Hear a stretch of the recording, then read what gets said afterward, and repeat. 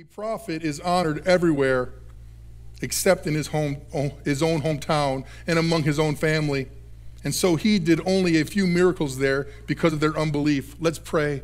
Dear God, I come here today and I ask you to open our hearts and our minds in this uncomfortable uncomfortableness that we have with meeting new people and being in a community, that you build in us and, and, and fill us with your love and your joy and your passion to get out there and meet people and reach people that don't know Jesus and to come together, sharpen each other's iron, and really make a difference. I thank you for your love. I ask you to speak through me today and let it be reached to, for everyone here so we can extend it out in this community. Thank you. We love you in Jesus' name.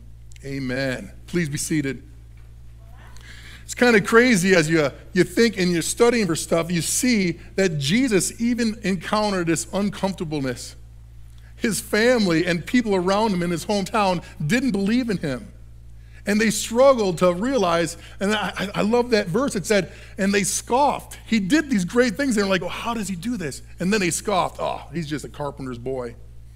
Imagine how frustrating and the painfulness it must have been to not have your family and friends think or believe what you do.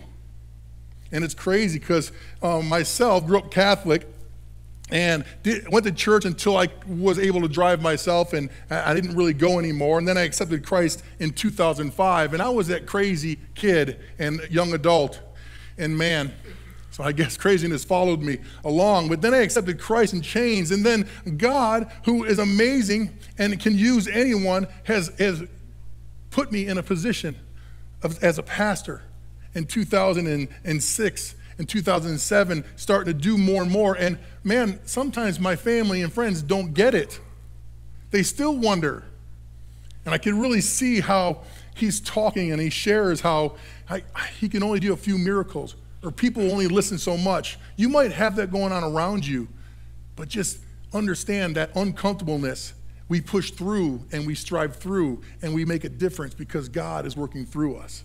Look what it says in John 7 2 and 5. It says, But soon it was time for the Jewish festival shelters. And Jesus' brothers said to him, Leave here and go to Judea, where your followers can see your miracles.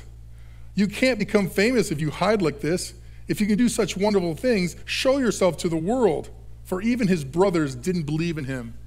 See, they're egging him on and, and challenging him and trying to push him. And see, we have to understand that we get those pushings and people around us that might know our past, and we all have a story.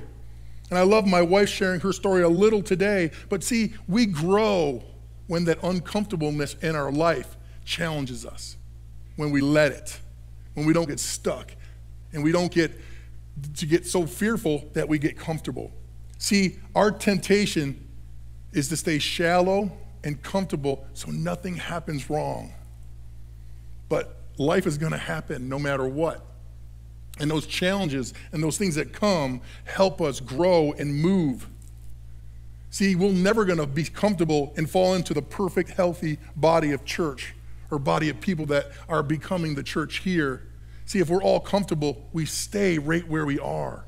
If we're never challenged, it's hard to grow. When you sharpen a, a sword or a knife, you get, remove some. It's a rough edge hitting against each other to sharpen it. We need that challenge sometimes.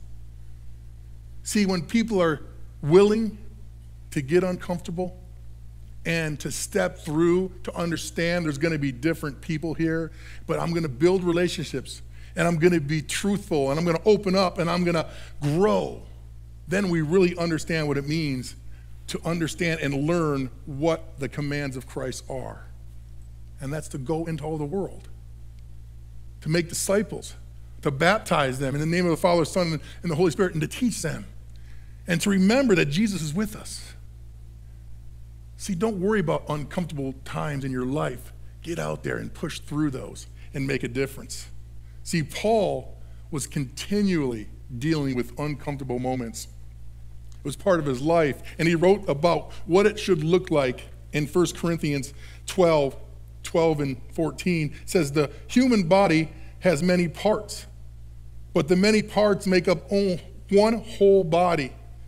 It is so it is with the holy body of Christ. Some of us are Jews, some are Gentiles, some are slaves, and some are free, but we all have been baptized into one body by one Spirit. And we all share the same Spirit. Yes, the body has many different parts, not just one part.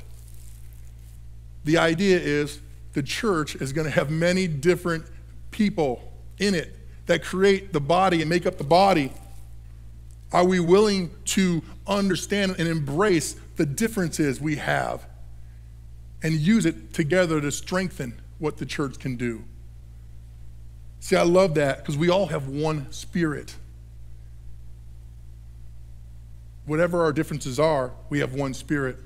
When we apply that and we, we understand our differences are going to happen, but there's one spirit, we can work and our heart can change and we can make a difference and impact the community.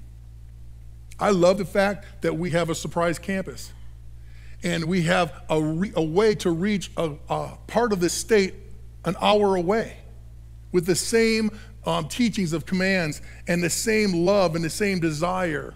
See, we can reach out more now because our home is around here and we want to reach the people around here. And now we have groups of people doing the same thing that can reach people there. And that's how good and funny and hysterical God is. I just moved from Surprise, a half mile from the church we just bought. And I moved out here. And, and that's good. It's fun because we have relations there that can help already. See, it's never comfortable to expand. But man, when we do it together and we believe that all these parts come together, we can make such a bigger and more important impact because it's so important that we believe that every single part is important.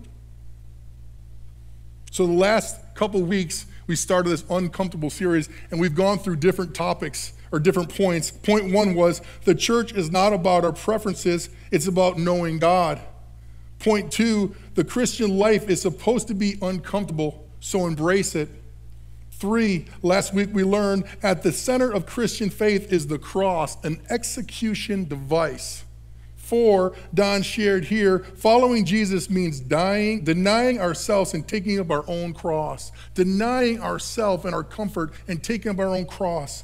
And five, Jesus provides the ultimate example. It's Jesus that gives us that example we need to follow.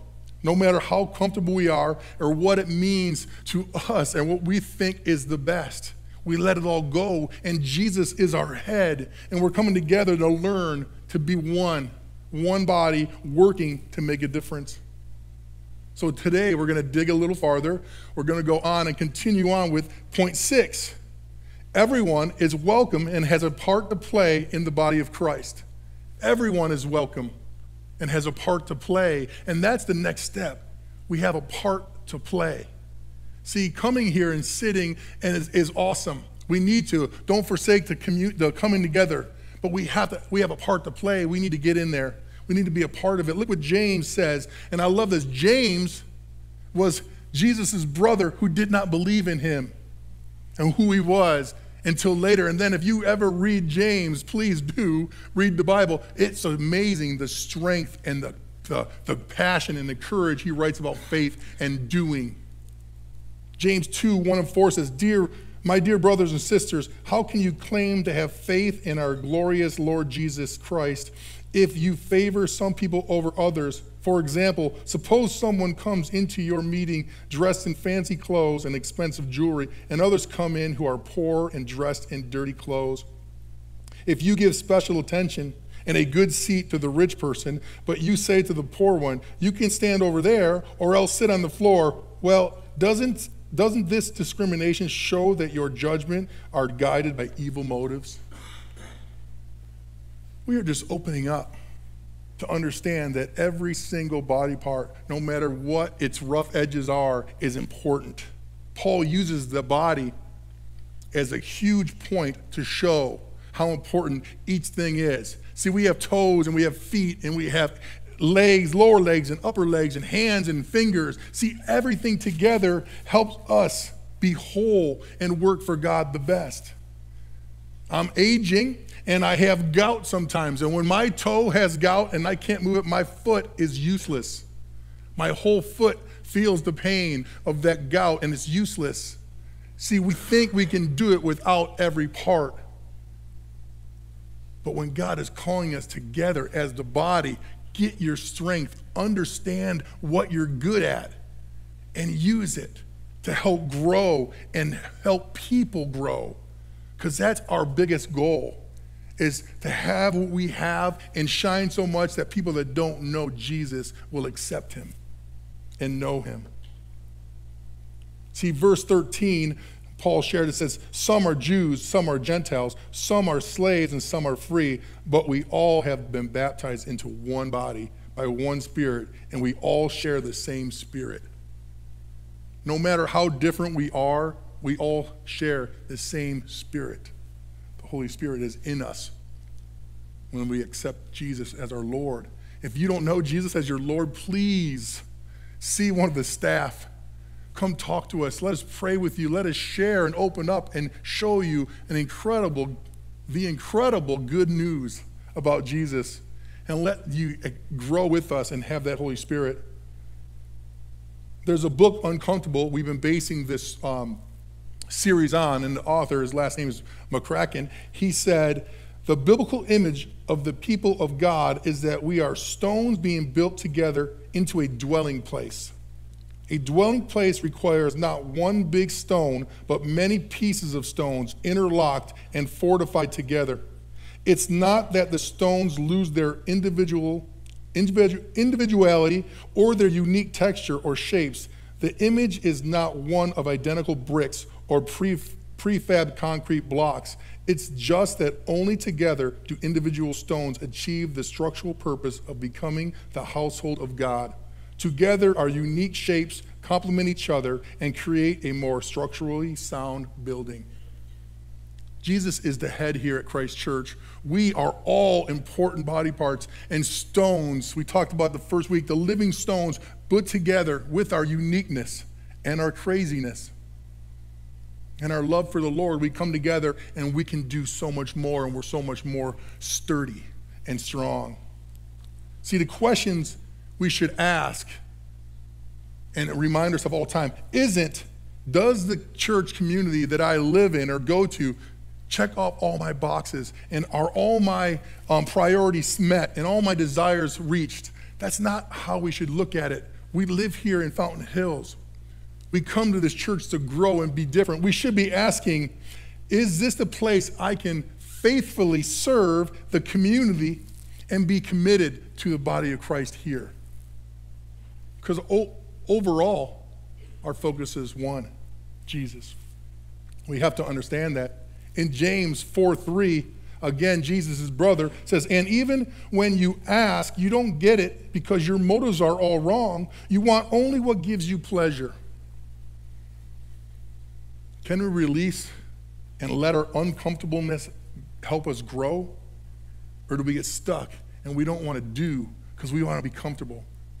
Jordan mentioned starting point starting up next week, and we have broken it up for three parts and there'll be 50 minute parts after the second service, the first weekend, second weekend, third weekend. You can start at any one. You do not have to start at step one, even though it's step one. I know that might be hard for some of you that are very anal about stuff, but don't look at the numbers, just the weeks. But step three is learning about serving and what areas we have to serve here. And you're going to see descriptions, and, descriptions and part of what's important to help this function and reach people. And I hope that you love it here and you want to be a part of what makes this tick and what makes us love reaching people in this community that don't know Jesus. No matter what, that is our why here at Christ Church to reach people that don't know Jesus. We, if you're here and you know Jesus, we're not the one we're trying to reach we're trying to use all of us as one bar- body to reach those people that don't know Jesus. So get the starting point, learn and be used. How unique you are, be used and use your gifts to make a difference.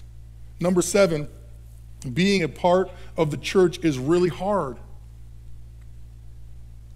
What Paul is trying to show is there's going to be people here that are different. They have different backgrounds economically, they have different beliefs politically. No shocker, there's Democrats and Republicans here. I know. It's, I can't believe we can sit in the same room. But see, we're made up of all different things. And it doesn't matter because when we come here, it's about Jesus. And see, He's gifted us no matter what our financial background or our political background or what we believe or anything that help or does not help the kingdom growth does not matter here. And I hope that you understand that. It's hard sometimes because you could get in a group with somebody that is opposite belief of you in this world. Like you could be in a group with uh, uh, four Republicans and you're Democratic, and you're like, oh, that group is so hard. But I've, what I've learned is when I've gotten in groups and I just let go and I meet people and I start growing, every person I've met that is seeking and following Jesus, I can learn from and I can grow from. And I leave all the other stuff out. That's a worldly thing. And I let it, I let it in, infest in me, and I've seen the difference. Also, with groups is it's not getting around just the people that you like and that you have similarities with. It's going out there and meeting people. And I believe truly the best groups I've ever been in have been general. I can't even say that word, I'm going to say it. Every generation is covered. So I love it because eh, we've had people in their 80s and 70s and 60s and 50s, all the way down. And when I've done groups where it was all open and people could learn, man, I can learn from somebody in their 20s, especially tech, with technology. And I can learn with somebody in their 80s that have gone through so many things and have so many experiences and so many stories how God has done great things. Don't get bunched up and my group has to be everyone so similar. Open up, find a group, sharpen iron, and really make that uncomfortableness push you to be better. The reality is, living in community with people, especially different people, it's going to be really, really hard. It's going to be really, really hard. Take that sacrifice and say, I don't care. It's about you, Jesus, and I'm going to do things because he's there with us, with us and he will do them through us. There's disagreements, uncomfortable moments, things that will always be in your mind and in your hearts. Can you look past them? Can you be different? Can you work and serve along people that are different? Again, I have learned my most when I've been with people that don't think the same way I do. Because when people think the same way I do, we don't move that much because we keep talking about the things we like. And it's harder to move. But think about that. Understand that that's going to be happening. There's going to be boundaries and potential issues and things that you'll speak about. But when you open up and help each other, you will grow. The author says the tension of a diverse conglomeration of people coming together in Christ's name will often be combustible. But it's it's also at the heart of the gospel. See, we've shared in red letters that they threw out the net for all fish, not just certain fish. See, we've, we've talked about the body of Christ being so important today that it's all parts of that body that make it better. The difference is the uncomfortableness we could have is combustible sometimes. It makes us want to blow and just go, ah. But when we stop and go, man, this is for Jesus, what a difference. What an excitement. Charles Spurgeon, in a message written in 1891, it's called The Best Donation, said, The church is faulty, but that is no excuse for your not joining it. If you are the Lord's, nor need your own faults keep you back. For the church is not an institution for perfect people, but a sanctuary for sinners saved by grace who, though they are saved, are still sinners and need all the help they can derive from the sympathy and guidance of their fellow believers. The church is the nursery of God's weak children where they are nourished and grow strong. It is the fold for Christ's sheep The home for Christ's family. That's amazing to me. See, we come together and we help each other. Because when it comes to it, I've seen it. I've worked with so many people with even with people here that are different, but they come together for that same purpose and great things happen. We are here to help each other know Jesus and to grow. When we have frustrations and tensions, it's so easy just to pack up and go. I'm challenging you to step up, embrace the differences, the uncomfortableness, and continue to grow to be different. And just like I said, embrace it because we can be better. It doesn't exist to have a tension free church. It doesn't exist to have a tension free community. Continue to grow and understand when we do that, we learn to love God more and love people. And that's a huge commandment right there. Love the Lord your God with all your heart, all your mind, all your soul, and all your strength. And love your neighbor as yourself. We grow that way. We forget about the uncomfortableness and we work together. All those stones, different shapes, coming together to make a difference.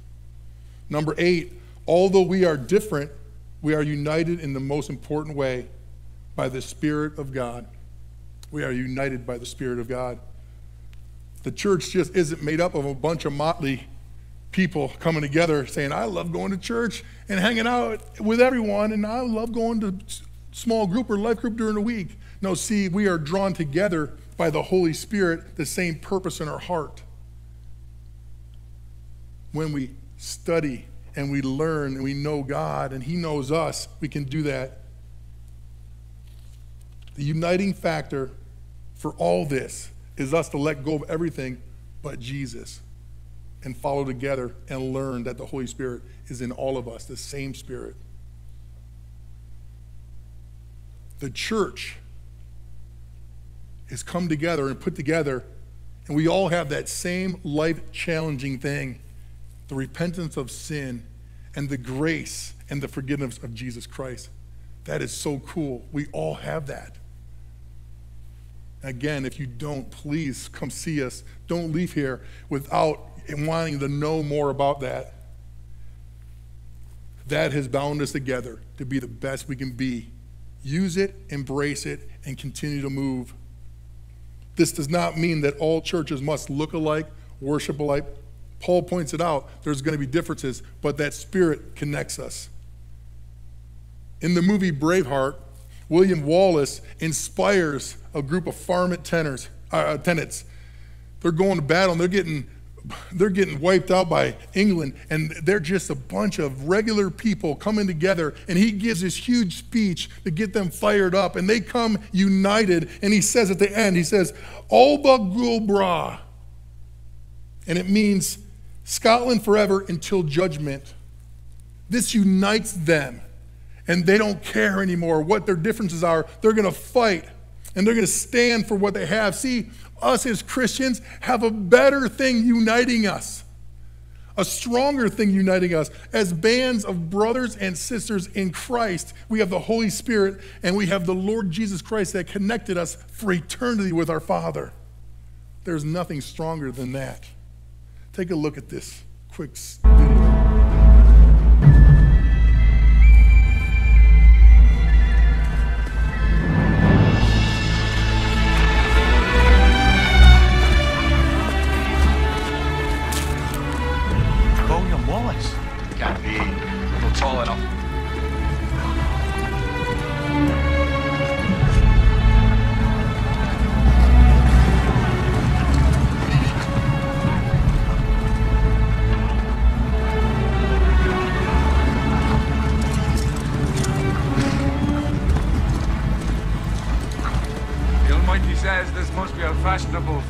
drawn the finest people. Where is thy salute?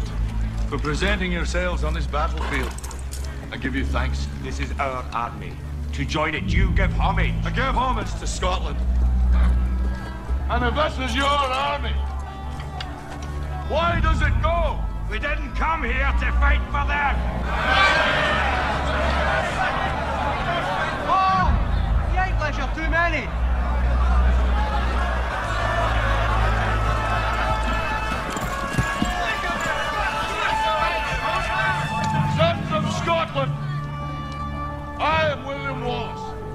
Wallace is seven feet tall. Yes, I've heard. Kills men by the hundreds. And if he were here, he'd consume the English with fireballs from his eyes and bolts of lightning from his arse. I am William Wallace. And I see a whole army of my countrymen here in defiance of tyranny. You've come to fight as free men. And free men you are. What will you do without freedom? Will you fight? Fight against that? No! We will run! And we will live. Aye. Fight and you may die. Run and you'll live. At least a while. And dying in your beds many years from now, would you be willing to trade all the days from this day to that for one chance, just one chance, to come back here and tell our enemies that they may take our lives, but they'll never take our freedom!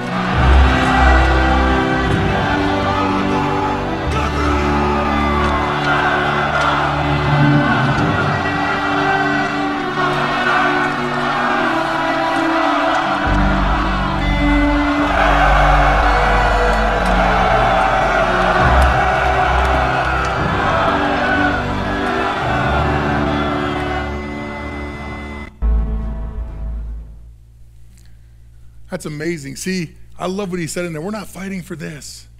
We're fighting for scholars. See, we're not fighting for Christ Church alone. We're fighting for Jesus. We are here together. The differences we have to come together to be as strong as we can to go out there and reach people that don't know him. Let's band together. Let's understand it won't be easy. Let's let down our walls and get in groups and truly follow and understand that we are here and we are doing a, a, great service and we plan things strategically to be the best we can. We're not trying to do things to make it angry, you angry or do things to, to change what you used to do. We're trying to get you in a place where you're so uncomfortable that you can grow and you can learn because God has done all this for our lives by sending his son. Can we embrace this uncomfortableness? Jesus was uncomfortable going to the cross, but he went to the cross because he loved his Father. He wanted to do his will. As Christ Church, we are a group of people who used to be disconnected, but now together we're Christ Church.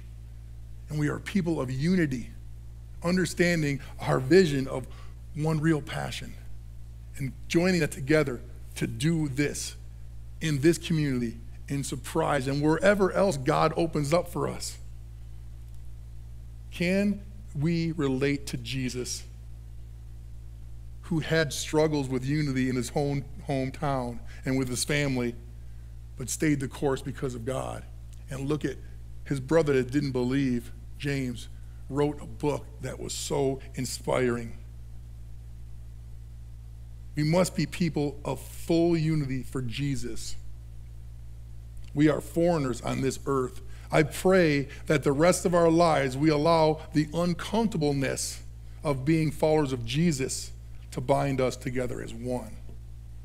1 Peter 2 9 and 12 says, For you are a chosen people, you are a royal priest, a holy nation, God's very own possession. As a result, you can show others the goodness of God, for he called you out of the darkness into his wonderful light. Once you had no identity as a people, now you are God's people. Once you received no mercy, now you have received God's mercy. Dear friends, I warn you as temporary residents and foreigners to keep away from worldly desires that wage war against your very souls. Be careful to live properly amongst your unbelieving neighbors then even if they accuse you of doing wrong, they will see your humble behavior or honorable behavior, and they will give honor to God when He judges the world. As we get ready to go, I just want you to think of this quote and let it fill your heart today. Take a picture of it, it'll be up on the screen. It is uncomfortable to followers of Jesus is our comfort. Uncomfortable to followers of Jesus is our comfort. Let's pray. Dear God, I thank you for everyone here. I thank you for your love. I thank you that you stepped in out of your comfort and did exactly what God the Father wanted you to do. And you showed us the way to, to reach out and be one together under your head and your guidance to be the body that makes this world change. Thank you. Ask that you be with us. Bless everyone on this Memorial Day and just help us remember the sacrifices people made and the difference we can make in this community. We love you. We thank you in Jesus' name. Amen. Thank you so much.